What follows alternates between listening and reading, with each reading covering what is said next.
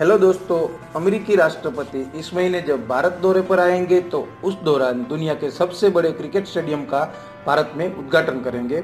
यह स्टेडियम इसलिए चर्चा में है क्योंकि यह दुनिया का सबसे बड़ा क्रिकेट स्टेडियम बन जाएगा। आइए इस स्टेडियम के बारे में कुछ रोचक तथ्यों को जानते हैं। मोटेरा, अहमदाबाद में स्थित सरदार पटेल क्रिकेट स्टेडियम, जो कि 1982 में बना था, उसको 2015 में गिरा दिया गया था, लेकिन अब इसका पुनर्निर्माण किया जा रहा है। 23 फरवरी, रविवार को अमेरिकी राष्ट्रपति ट्रंप भारत के दो दिवसीय दौरे पर आ रहे हैं। इस दौरान वो अहमदाबाद भी पहुँचेंगे और इस स्टेडियम का उद्घाटन करेंगे।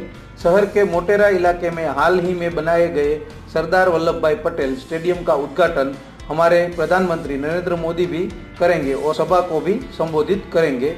इस क्रिकेट स्टेडियम को लगभग 700 करोड़, यानी 100 मिलियन डॉलर की लागत से तैयार किया गया है। जिसकी आधारशिला 16 जनवरी 2017 में रखी गई थी।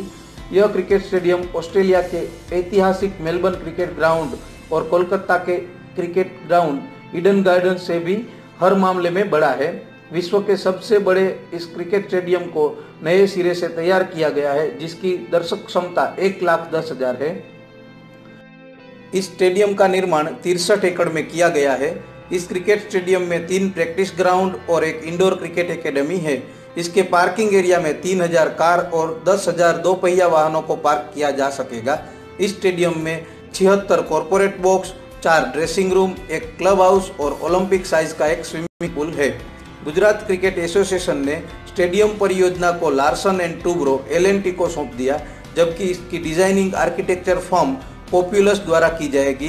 ये वही फॉर्म है जिसने मेलबर्न स्टेडियम डिज़ाइन किया था, जो ऑस्ट्रेलिया में है और अभी तक दुनिया का सबसे बड़ा क्रिकेट स्टेडियम है। इस स्टेडियम में दर्शकों की क्षमता लगभग एक लाख चौबीस है, जबकि मोटेरा स्टेडियम की क्षमता लगभग एक पॉइंट दस लाख दर्शकों की होगी।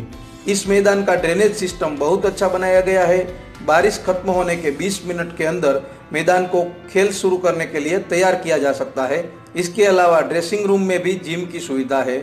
मोटेरा स्टेडियम 1983 में चालू हुआ था और जब 1987 में सुनील गावस्कर ने इस मैदान पर अपना दस हजारवा टेस्ट रन बनाया था, तब यह लोकप्रिय हो गया था।